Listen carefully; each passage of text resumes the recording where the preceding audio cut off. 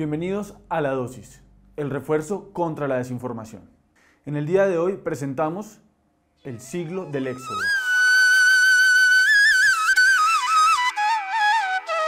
El sueño de un mundo sin fronteras, donde gentes de todos los colores y lenguas viven y comparten sin prevención alguna, está cada vez más lejos de hacerse realidad.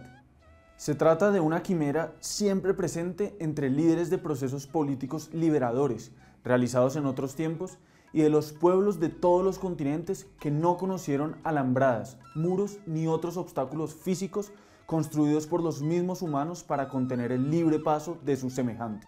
Líderes soñadores como Simón Bolívar y la América hermanada en lucha contra el Imperio Español, o José Martí y el Caribe en lucha contra los restos del Imperio Español.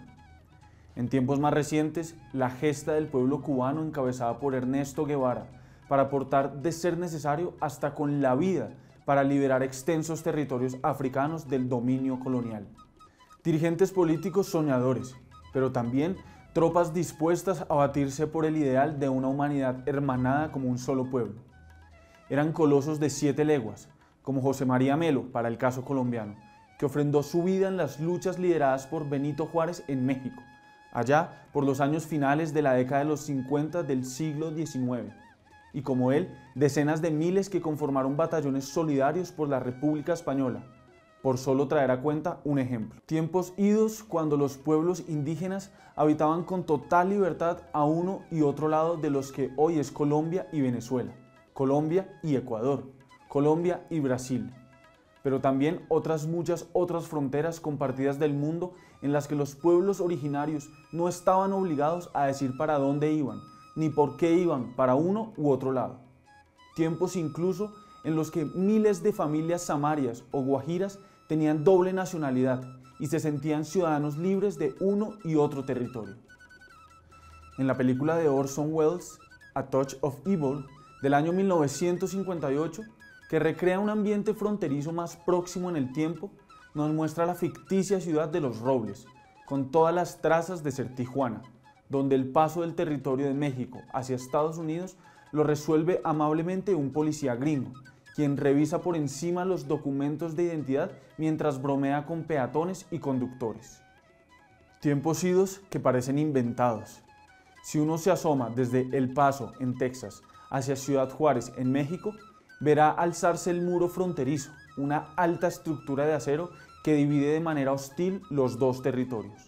Un muro que para la mentalidad de Donald Trump debería cubrir de una a otra costa los 3.169 kilómetros de frontera y aún adentrarse en el mar vigas y láminas de acero, inexpugnable superficie de concreto, alambradas eléctricas, drones, detectores infrarrojos, visores nocturnos, perros entrenados en olfatear la pobreza, una barrera de boyas flotantes a mitad del río Bravo.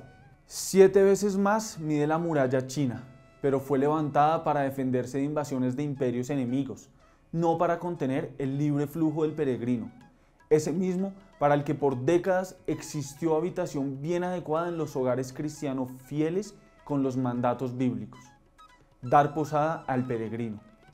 Hoy hay muros, mallas, alambradas por decenas para contener a sus vecinos, un mundo poblado por temores, aduanas, sed de control y de ganancias para unos pocos los de siempre. Aporofobia es el odio a los pobres. No se rechaza a los migrantes como tales, dice la filósofa Adela Cortina, sino su pobreza. El miedo al que no tiene nada, al extraño que, según el discurso de Trump, es sinónimo de violador, asaltante, traficante de drogas, delincuente. Un discurso dirigido a exacerbar el miedo. When Mexico sends its people, they're not sending their best. They're bringing drugs, they're bringing crime, they're rapists, and some, I assume, are good people. ¿Y la pobreza de la que provienen? La profunda desigualdad social de los países de los que son obligados a irse, a huir, es el equivalente de una catástrofe natural.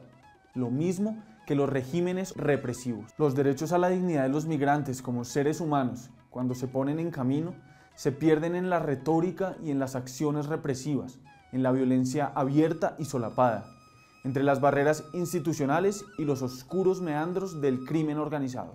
El éxodo continuo de tantos miles se convierte como negocio rentable que mueve miles de millones de dólares entre cárteles, traficantes de personas, funcionarios corruptos.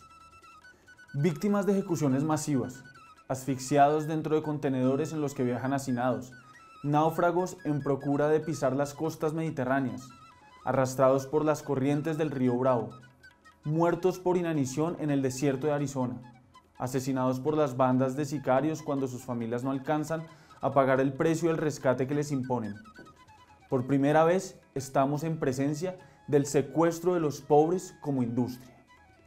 Más de 2 millones de inmigrantes dejaron sus hogares para ponerse en marcha hacia el norte solo en 2023. Muchos de ellos familias enteras, largas caravanas desde Centroamérica y el Caribe y el sur del continente. Multitudes que atraviesan las selvas del Darién desde Venezuela, Colombia, Perú, Ecuador, Bolivia, o inmigrantes haitianos y africanos que se suman a las caravanas volando hasta Brasil. Y también, en sentido contrario, hacia el sur. Las corrientes de venezolanos se dirigen al Brasil o Ecuador, Perú, donde se quedan, o siguen hasta Chile. Cerca de 8 millones de venezolanos emigrantes y refugiados en el mundo, según datos de ACNUR, un 30% de la población total del país. Entre esa inmensa masa de empobrecidos en procura de trabajo e ingresos, los procedentes desde Colombia sumaron entre los años 2021 y 2023 un poco más de 43,5 billones de pesos, según la tasa representativa del mercado del año pasado. 1.200.000 compatriotas que con su doble jornada laboral diaria o incluso más remesas enviaron a sus familias en el año 2023 10.091 millones de dólares.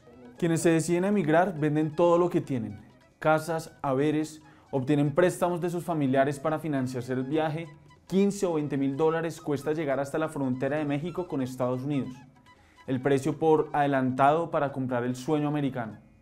Y son los mismos familiares los que correrán a vender lo poco que tengan para pagar los rescates exigidos por los secuestradores. Hoy en día, Nicaragua se ha convertido en una vía alterna para la migración ilegal hacia Estados Unidos, con el uso expedito del Aeropuerto Internacional de Managua para recibir viajeros sin visado que llegan no solo desde Cuba y Haití, como al principio, sino de países asiáticos y africanos, y que son trasegados de inmediato hacia la frontera con Honduras, desde donde siguen viaje hacia el norte. Entre los años 2022 y 2023, 600.000 personas arribaron en vuelos charter y en vuelos regulares desde Cuba y Haití, y también desde Francia y Alemania con naves de matrícula rumana.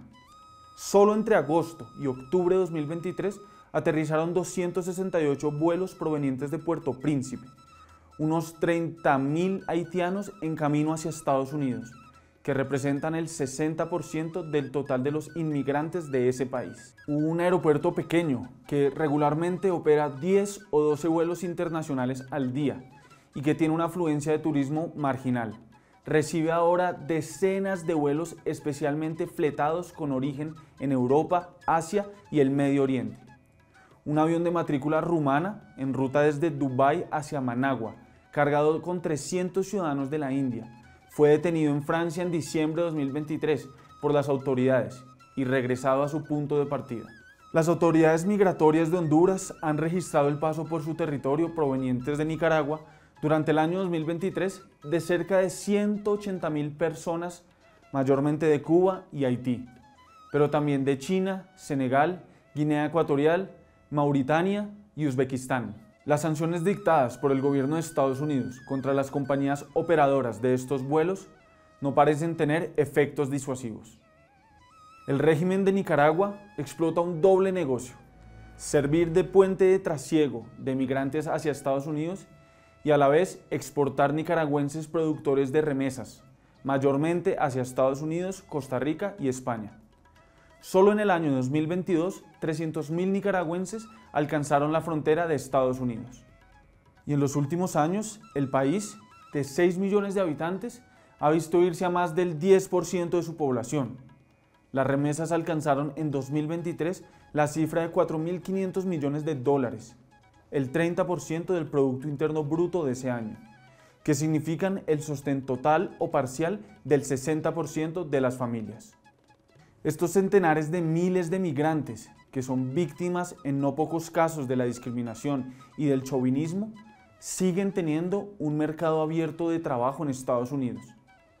Aportan una mano de obra más barata y cuando se trata de inmigrantes ilegales, trabajan sin garantías laborales. Es un tráfico que no tiene visos de detenerse, en la medida que continúa la crisis económica, social y política. La inestabilidad laboral, el desempleo crónico, la falta de oportunidades de educación y salud, de servicios básicos, la inflación, el creciente costo de la vida, la inseguridad ciudadana, seguirán empujando a la gente a irse, junto con la represión política bajo regímenes políticos autoritarios o dictaduras. Según la última encuesta del Barómetro de las Américas, el Pulso de la Democracia 2023, casi la mitad de los 6,2 millones de nicaragüenses tiene intención de irse del país. Y otras encuestas muestran cifras parecidas en Guatemala, El Salvador y Honduras, país donde suelen formarse caravanas de miles que marchan a pie por las carreteras rumbo al norte. Estamos en el siglo del éxodo.